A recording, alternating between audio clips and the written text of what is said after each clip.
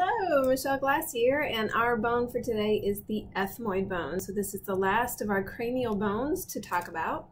The ethmoid bone is this bone right here. So of course we're looking at the internal view of the cranial cavity, and we're going to see that the ethmoid bone is making the roof of the nasal cavity. So you can see it there, use your suture lines.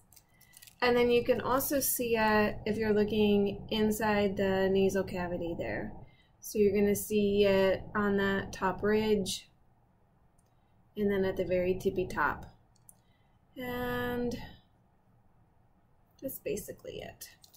So with the ethmoid bone, there are a few structures that we need to name. So the first thing we can name is this process sticking up here. This crest is called the crista galli crista galli.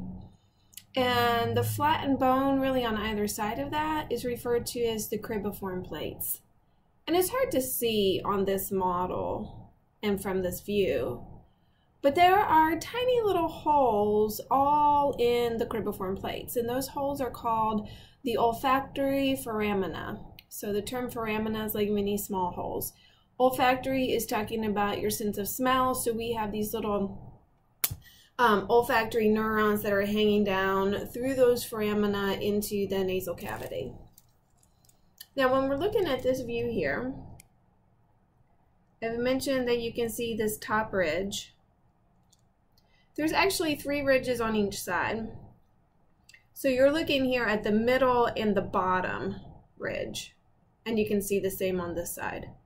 So there's one at the very tippy top that's not visible on this model. So what we're going to see here is the one that looks like it's at the top on the model is actually in the middle and it's called the middle nasal conch or conch E with an AE ending for plural. You also have at the very tippy top a perpendicular plate, which is pretty hard to label on the model, and so I don't actually test that one in my classes.